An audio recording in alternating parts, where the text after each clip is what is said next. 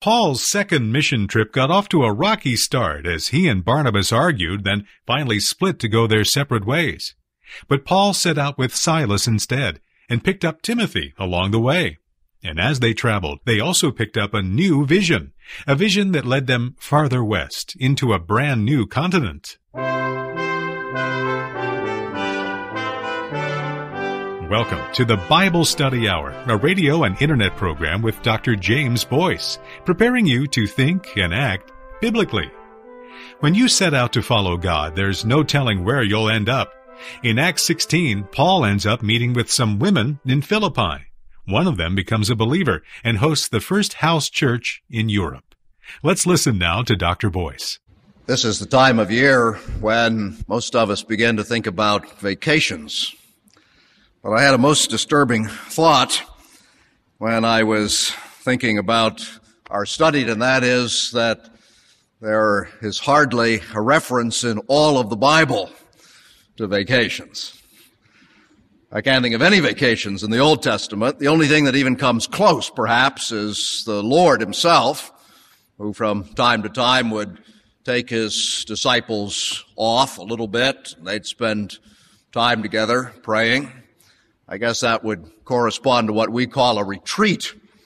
And yet, it isn't quite a vacation. Actually, throughout human history, most people in most periods of history never had a vacation. And generally that was for physical reasons. Nobody had the money or the leisure to enjoy one. You had to struggle day by day simply to stay alive. At any rate, that occurs to me. I don't know why, but that occurs to me when I think of where we've come now in our study of Acts and find here in these verses that we're going to look at now that the Apostle Paul was setting off on a second missionary journey. Now, he just finished one, and he'd had a tough time on it. He had been to Jerusalem for the great council, and there had suffered some unfortunate pressure, as I believe, from those who were in positions of authority in Jerusalem. And then he had returned to Antioch, where he had a busy time, as we're to believe, teaching and preaching the word of the Lord. And yet, it's at that point, as it would seem, as we read this, without any break at all, that he gets the idea that it's time to start in on all these missionary journeys again. I think that's great because it tells us really that in the Christian life, at least, whether we take vacations for good reasons or not, there are very good reasons for them, but when we are in the Christian life, ultimately, in the final sense, there are no vacations from what we're called upon to do. We're called to serve the Lord. We're to bear witness to Him at all times. No vacation from living a moral life or witnessing, and that's what we're to keep on doing until the day we die.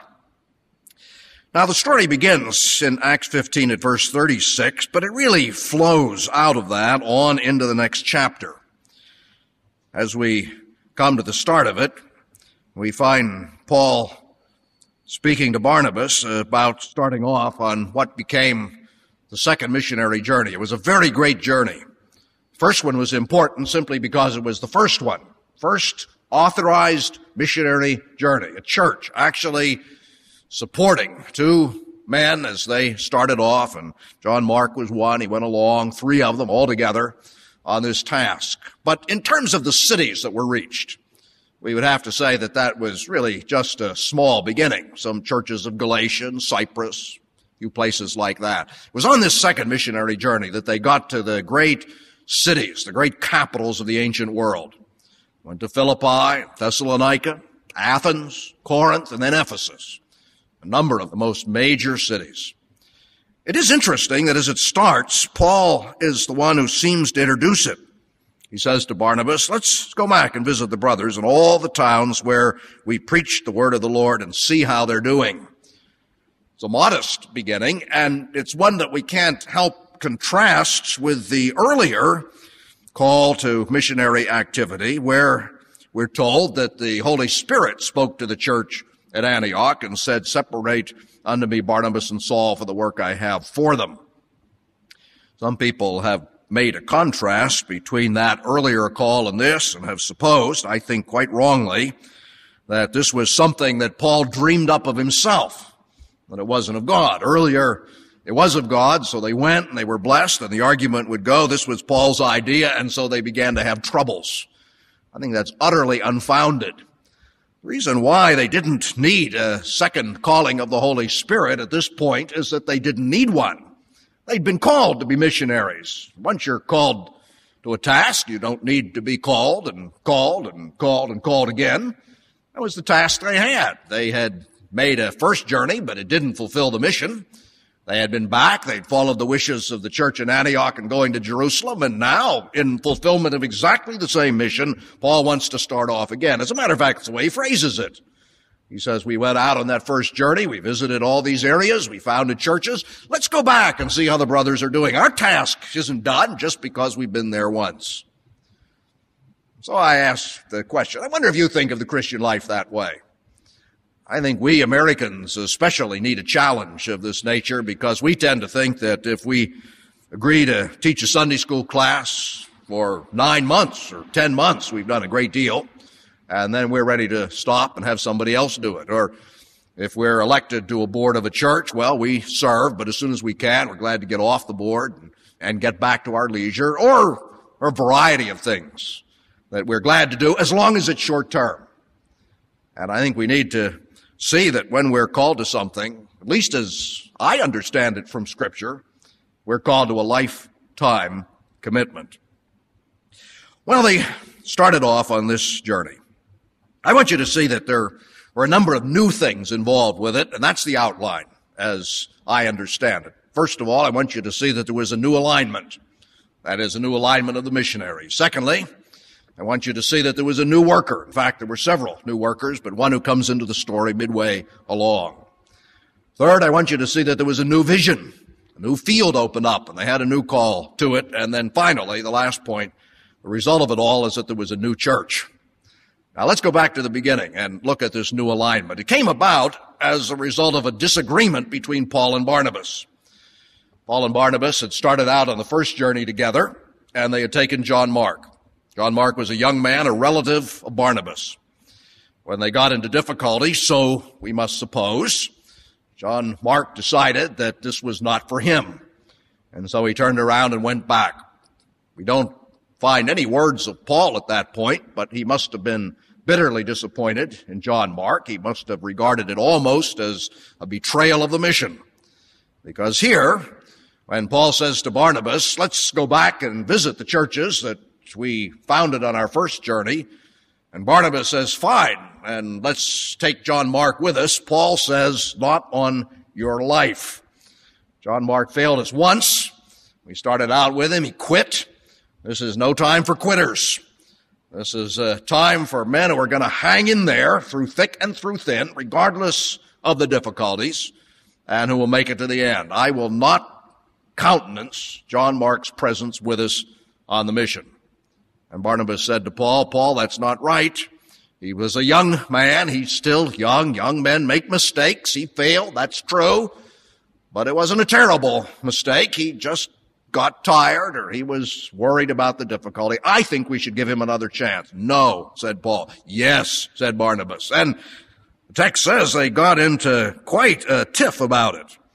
It's not really reflected in our English translation. Our English translation tends to tone things like that down. But it really was quite an argument. At any rate, it was a strong enough argument that Paul and Barnabas separated. These two great missionaries, these saints, the kind of people which in an evangelical church you bring up into your pulpit on missionary Sunday and you say to everybody, this is what you should be like. These two men, Paul and Barnabas, actually had to divide up and go separate ways. And so Barnabas took John Mark and went to Cyprus. We don't hear more about him, but the history of the church says he stayed on Cyprus and died there, an old man. No doubt he had a great ministry. John Mark later was called by Paul to go on to Rome where he was at the time, and that seems to suggest that perhaps Barnabas being older had died by that time, but we don't know. At any rate, that was one of the missionary teams. And because Barnabas and Paul couldn't go on together. Paul turned to Silas, another leader there in the church at Antioch, and the two of them set out overland to do what Paul had proposed originally to do with Barnabas. I asked the question, who was right?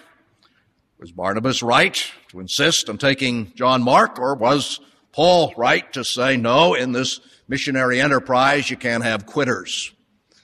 I asked the question only to say this, the scripture does not give us an answer. Nothing in these verses to suggest that Paul was right or Barnabas was right, no doubt. We feel a certain amount of regret that they had to split up. But even that is not condemned by the scripture. This is just something that happened. And in the final analysis, the end result, it was quite good. Because John Mark did prove himself in the end. Even Paul acknowledges that because in 2 Timothy, where Paul is writing to Timothy, whom he picked up on this very journey and who was carrying on a lot of the responsibility for him in some of these very cities, he wrote about Mark and said, He's profitable to me for the ministry. Bring him along. So John Mark redeemed himself. And as long as we're talking about an end result of the dispute, we do discover, don't we, that as a result of it, instead of there being one missionary team, there were now at least two. I guess that's one way of founding churches. You can have First Baptist Church and they can have a split and then you have a Second Baptist Church. That perhaps isn't the best of all possible ways to go about it, but at least there is another church and God does bless them. And at any rate, that's what seemed to happen here. So, as I say, there was a realignment and there were two teams and so it was Paul and Silas rather than Paul and Barnabas that started out overland to visit these churches. Verse 41, the very last verse of chapter 15 said they went through Syria and Cilicia, strengthening the churches. Now, Syria was the area where Antioch itself was located and to the north, and Cilicia was the southeastern area of what we call Turkey, where Tarsus was located, where Paul came from. Where do these churches come from in Syria and Cilicia? That isn't where they visited on the first missionary journey. They had gone the other way around. They had gone west to Cyprus, north to the coast of Turkey, inland to Antioch of Pisidia, and then back east as far as Iconium, Derbe, and Lystra. But that didn't get as far as Cilicia. And now they were going the other direction, overland from Syria through Cilicia, but they had not yet reached the towns of Iconium, Derbe, and Lystra. And yet here they're visiting churches. Where did they come from? Well, it indicates perhaps that there was other missionary activity going on things that Luke himself does not tell us of in the letter.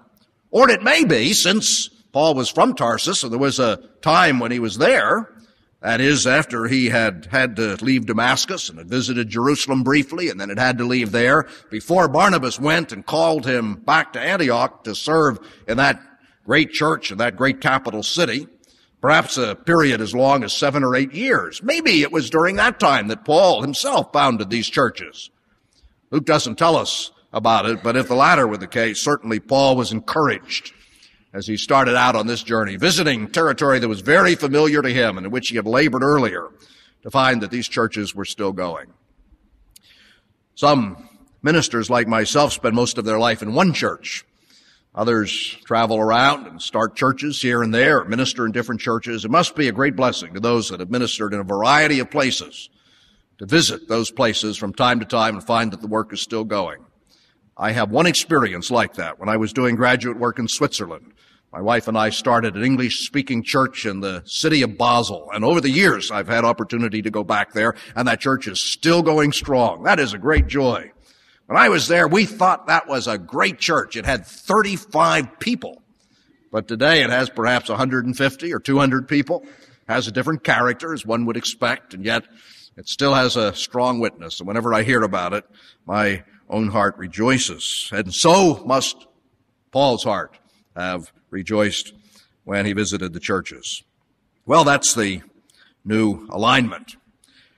In the first paragraph of the 16th chapter, we find a new worker. Now, there was already one new worker, and that was Silas, because Barnabas and Paul had divided up. But here we find one that they discover in the course of their journey and invite to go along. He's this man, Timothy. It's the first place in the New Testament that we find him. A man whom, as Paul writes about him, must have been at times a bit uncertain of his abilities and talents. A man who perhaps was somewhat overshadowed by Paul and his brilliant mind and forceful personality and readiness to speak. I tend to think of Timothy as being chiefly a pastor, one who was well able to minister to the people that Paul first of all reached through his preaching, certainly who had wisdom in building up churches, handling disputes, counseling those who had difficulties. This is what Timothy was like. You might think that Paul, being a strong character as he was, might have looked down on Timothy and said, well, Timothy's all right, but you know, Timothy isn't quite like me. Matter of fact, Paul did just the opposite. Paul thought most highly of Timothy. We know for a number of reasons. The way he writes to him in the letters, of course. But then, of course, when you're writing to people, you generally say nice things. What perhaps is even more significant is the way the apostle Paul writes about Timothy when he's addressing other people. We're going to see that they got to Philippi. It's part of this passage. And it's interesting that in the letter to the Philippians, which Paul wrote later, he did comment on Timothy and his character, and he said something that's really worth reading at this point. I'm reading from the second chapter of Philippians, verse 19 and following, where Paul says this, I hope in the Lord Jesus to send Timothy to you soon, that I also may be cheered when I receive news about you. Now notice, I have no one else like him. One who takes a genuine interest in your welfare, for everyone looks out for his own interests, not those of Jesus Christ. But you know that Timothy has proved himself because as a son with his father, he has served with me in the work of the gospel. I hope therefore to send him as soon as I see how things go with me, and I'm confident in the Lord that I myself will come soon. Paul says a number of interesting things about Timothy in that brief paragraph. He says he's unique. Nobody like him. Some of our versions say someone who is like-minded. That can mean a number of things. One thing it can mean is that he thought like Paul himself. Didn't have the same personality. He hadn't been given the same gifts. He had a different assignment. But so far as the missionary enterprise was concerned and the building up of the churches, here was one uniquely like-minded with the apostle Paul. That's a wonderful thing. He says, secondly, that Timothy is concerned for other people. Isn't it wonderful to have somebody who's concerned for other people? Paul seems to me that he's speaking of our own time when he says, you know, everybody looks out for their own interests. He could be describing our city. He could be describing our country, our town, our time, because that is what people are like. It's just selfishness. Me first. It's what sin has done to the human race. And here was someone who was so under the influence of Jesus Christ, so filled with his spirit, that he really was concerned about others. And he put their interests before his own. And then he says, he also minds the interests of Jesus Christ. You see, it's possible to have somebody who's interested in other people, but not at all within a Christian framework. A good counselor, for example, not at all a Christian, can be interested in other people and help them, but who is not interested in the concerns that interest Christ. Timothy was not like that. He had his spiritual priorities right. He had his values right. He put other people before himself. And furthermore, says Paul in this passage, he works well with other people. You ever known people that can't work well with anybody? They're lone rangers. They do a good job, but all by themselves. Can't get along with anybody else. Don't know anything about teamwork or working that way. Well, he says Timothy is not like that. Timothy might not have been the best of all pioneer missionaries, but he was certainly a good pastor. And that is what Paul commissioned him to as he gave him the responsibility for some of these churches. So, as we look at this second missionary journey, we have, first of all, a new alignment, new missionary team, and now a new worker in Timothy. I guess it meant that Silas replaced Barnabas and Timothy replaced John Mark, at least in the way the apostle Paul and his team functioned. Now in verse 6, we come to the heart of the passage, and this concerns what I've called a new vision. It's this vision of the man in Macedonia who challenged Paul and those who were with him with the words, come over and help us. I've already mentioned William Ramsay several times, a man who studied this area of the ancient world very carefully and then looked at the book of Acts in light of what he knew about the towns, history, and geography of Asia. And Ramsay traces this very well. And as he does, it's easy to understand what was happening here as Paul made his journey across this area of the world. He had started out from Antioch and had pursued a generally westward direction passing first of all through Cilicia and then through the towns of Derbe, Iconium, and Lystra in the southern portion of Galatia.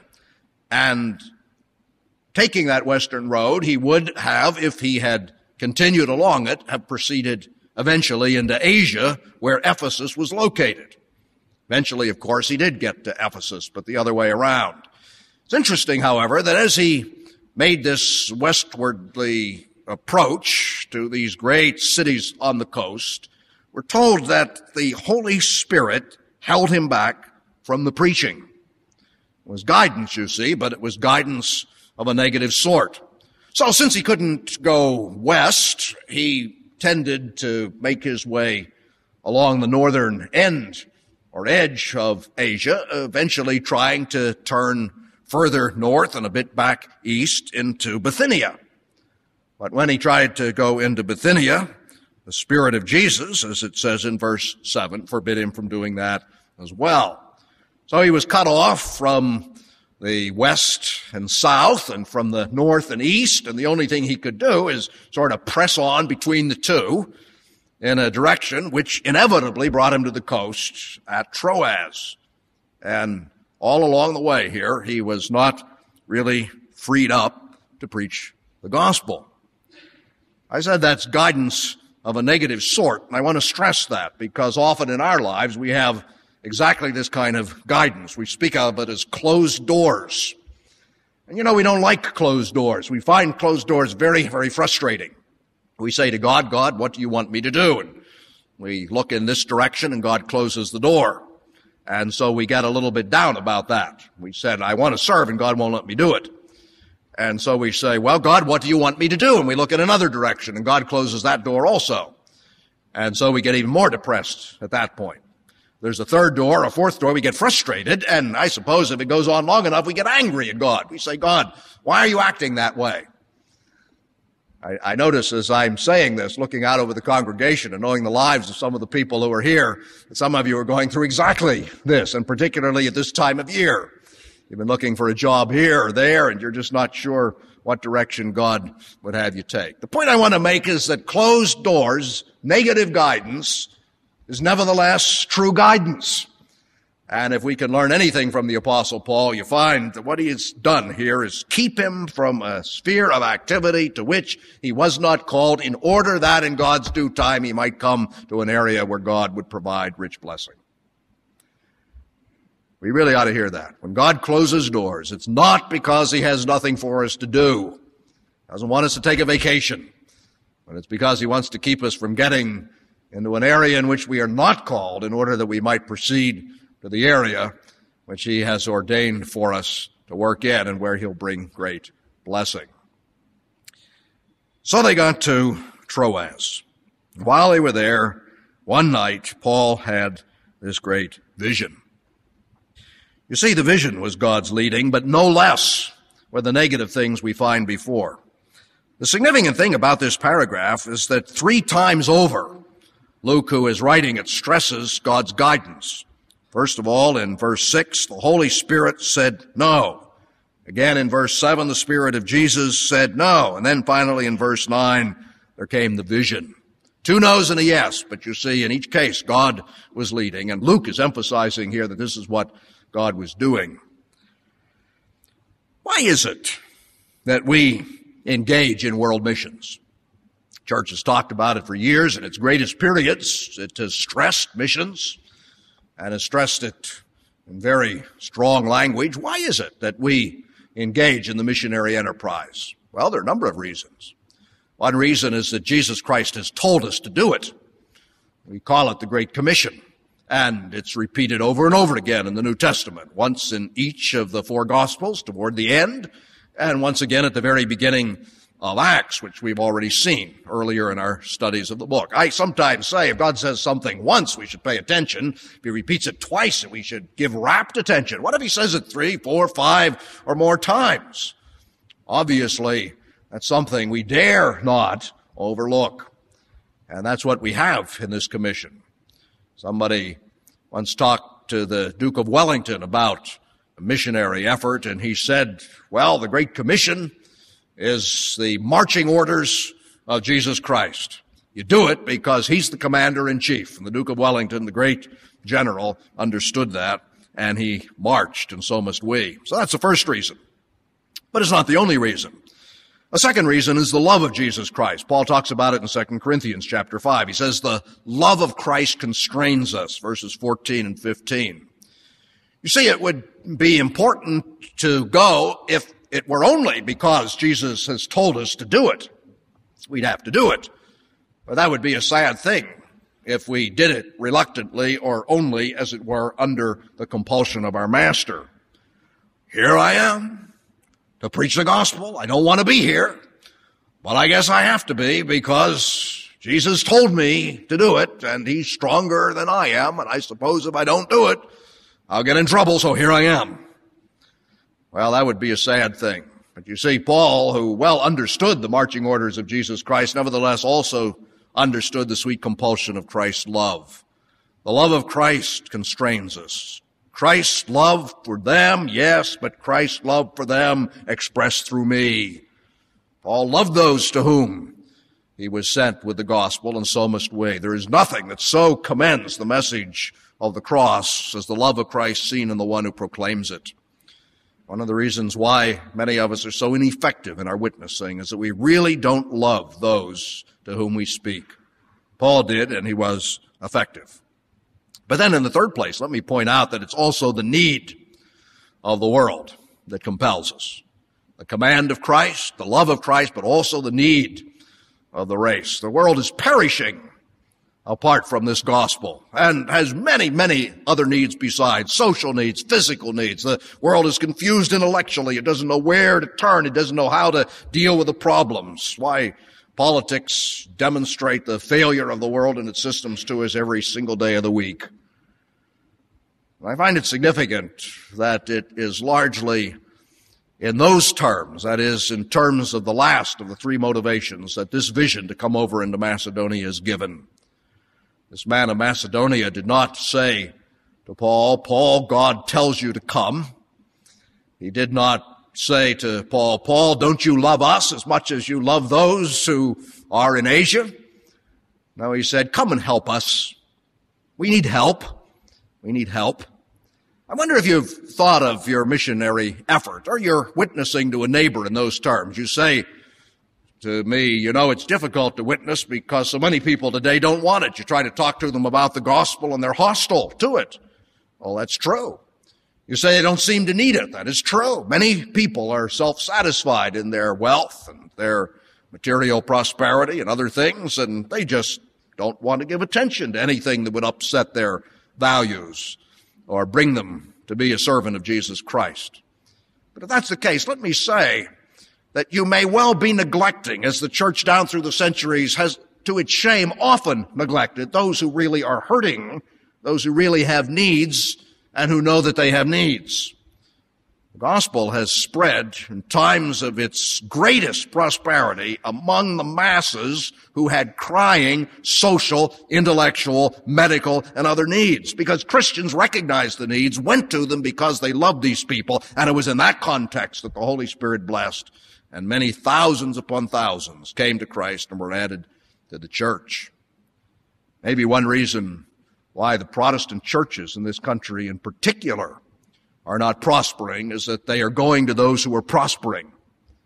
And what they ought to do is go to the needy, those in the poor areas of the country, those who have great social needs in the city, and love those people for the sake of Jesus Christ. Well, Paul heard that vision. I suppose the same night he shared it with his companions, and the result was they crossed over from Asia into Europe, and the gospel began that march, which eventually has brought it to ourselves. I can't help but notice that in verse 10, for the first time now in the book of Acts, we have the first person, we, written by the narrator, as an indication that now he has joined the party. Those who have studied Acts have pointed this out, that here in the 16th chapter, and again in the 20th chapter, and also in chapter 27, you find the narration changing from the third person, he did that, they did that, to the first person, we did that. And undoubtedly those who conclude that here Luke is involved are right.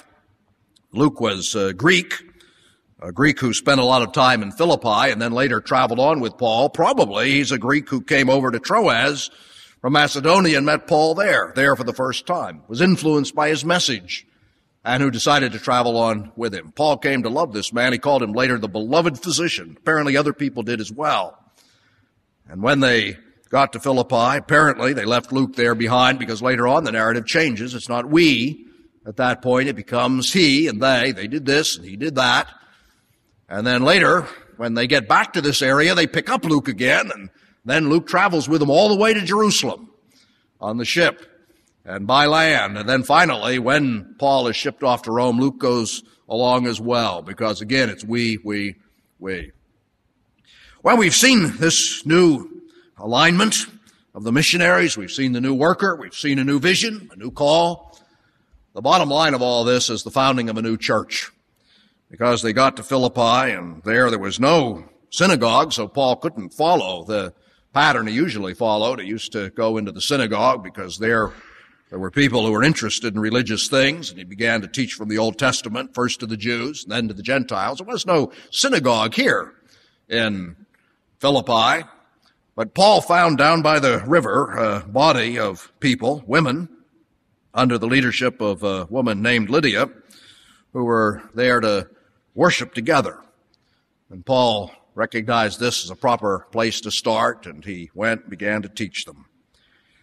They responded to the message. Lydia, especially, a leader, a businesswoman, very able woman, apparently, who had taken leadership in the church, responded, invited Paul and the others into her home, cared for them, gave them the place to stay, and, and that home, that home of Lydia, became the new church, new church building, the house church of this first Christian colony in Europe, in this city that was a great colony of the Roman Empire. That's the bottom line of it, you see. It, it's, it's not founding churches in the sense that we often think of when we think of church buildings. Nothing to that at all. There are churches in the world where there have been great church buildings and the congregations have faded away and now Churches are just monuments, in some cases museums, in other cases wrecks, or they've simply been torn down. It's not the building, but it's the people. And that's what it's all about. What is life about? Is it getting recognized by other people? Is it fame? Is it satisfying yourself? Is it being happy? Is that what life's about? If that's what your idea of life is, you're doomed to frustration and great failure because those things have a way of slipping through our fingers like sand. Now, what history is about, what life is about, is God calling out a people to himself. That's why Jesus came. He came to die for his sheep, and he said, I'm sending my messengers into all the world to call those sheep from all the sheep pens in which they're found into my one great big flock. And there's going to be one flock and one shepherd. And those people for whom I've died, who have been called by my messengers, are going to spend eternity with me in heaven. And before that, they're going to have a little taste of eternity, a little taste of heaven here within the fellowship of the church. I challenge you to be part of that commission, to be part of that challenge, that great plan of God in history, to make your life count something, not just for life, because that'll pass away, but for eternity. Let us pray. Our Father, bless this study to us. We're so caught up in the world and its values, and we certainly are caught up in the rapid pace of our time. And we tend to think that what's important is what the world tells us is important, and only because we don't spend enough time in your scriptures.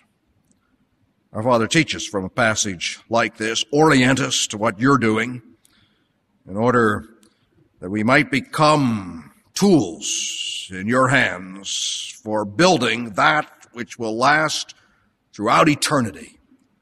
Architects and builders, as it were, for that great city that has foundations.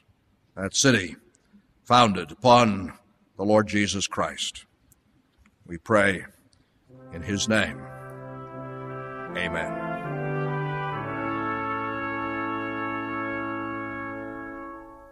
You're listening to the Bible Study Hour with the Bible teaching of Dr. James Boice, a listener supported ministry of the Alliance of Confessing Evangelicals. The Alliance exists to promote a biblical understanding and worldview, drawing upon the insight and wisdom of Reformed theologians from decades and even centuries gone by. We seek to provide Christian teaching that will equip believers to understand and meet the challenges and opportunities of our time and place. Alliance Broadcasting includes the Bible Study Hour with Dr. James Boice, Every Last Word with Bible teacher Dr. Philip Ryken, God's Living Word with Pastor the Reverend Richard Phillips, and Dr. Barnhouse and the Bible featuring Donald Barnhouse. For more information on the Alliance, including a free introductory package for first-time callers, or to make a contribution, please call toll free 1 800 488 1888. Again, that's 1 800 488 1888. You can also write the Alliance at Box 2000, Philadelphia, PA 19103. Or you can visit us online at alliancenet.org. For Canadian gifts, mail those to 237 Rouge Hills Drive, Scarborough, Ontario, M1C 2Y9.